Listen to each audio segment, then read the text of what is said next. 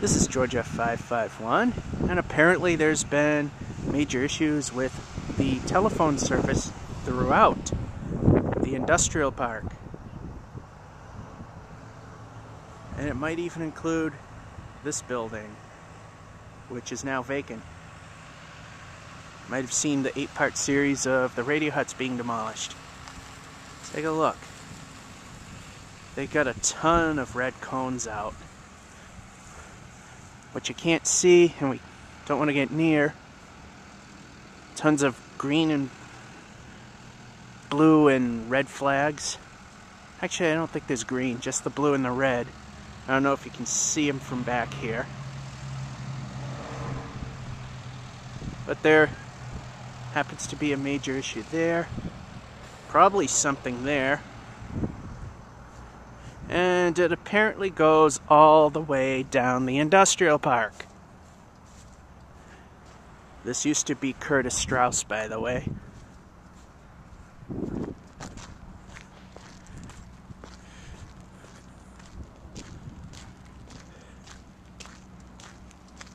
Free plug for my place of work. Got excavators here. And way over here at MSI.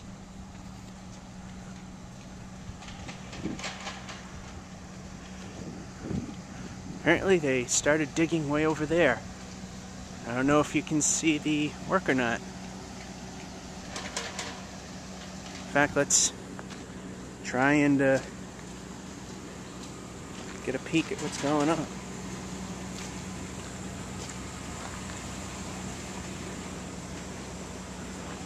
And it doesn't look like we'll get a good look. Eh, and I got this pretty blocked off.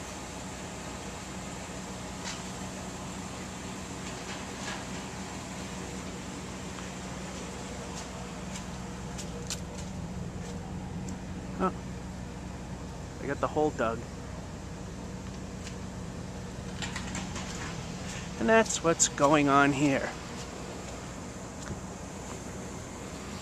Being fixed by Verizon. Yeah, that's just the one flaw of underground wires is that when something goes wrong, you gotta dig up everything to get to the problem. Sure, windstorms are not to knock down the power lines if they're underground. But this is the big, very costly method of installation. It's part of the price you pay for convenience. And that's what's going on in the industrial park. Well, this appears to be a bigger problem than I thought. georgef551 here again. There's a Verizon truck way down there behind the big white building there. I see a worker going into the woods. And barely through the trees, because I don't want to get too close. They're digging a hole still. Let's see if we can get a better view.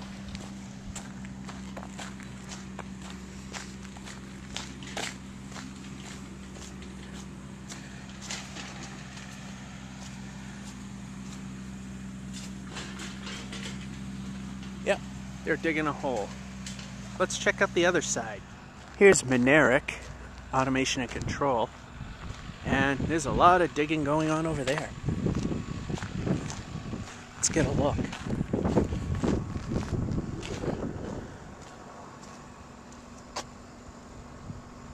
What a pain. Need these people just to dig up some phone lines.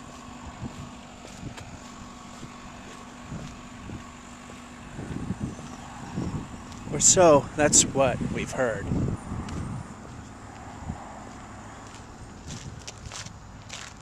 Looks like they uh, got more than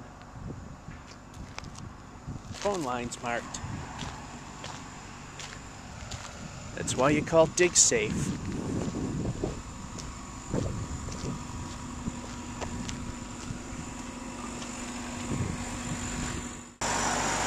Here we are at the other end. I'm to zoom in. I know it looks like crap that way. All the red flags. Is our little sign.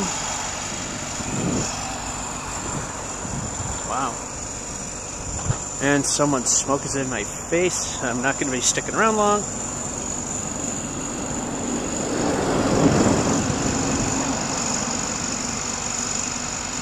Looks like these guys are digging for gold. Either that or drilling for oil. Nah, I think they're looking for a line. And wait. That ends today's, or should I say this segment. Finally, we are on the MSI side of this big industrial park. Well, it's not really too big. And this is where they were digging a hole with a bobcat. So you can see they've filled it in. And as we saw in the last part, guy walking down an embankment. I'm sure you can see the red flags. That the phone line goes that way. Not 100% sure now if it's the entire industrial park, but it appears to be that at least where I work, there's problems with the phones. Let's see what they left on the other side, near the main road. Finally for today, cannot get too close, since they're still working on this side. And they're drilling for oil over there.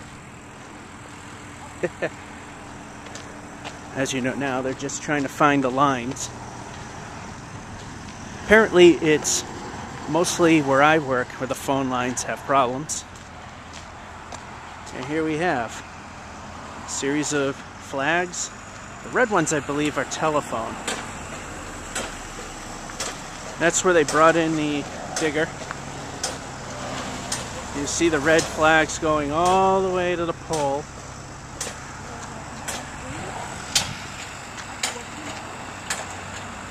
Blue, I think, is gas. There they are, trying to figure things out. And they're drilling. And there's a cone there. Some sort of uh, inlet.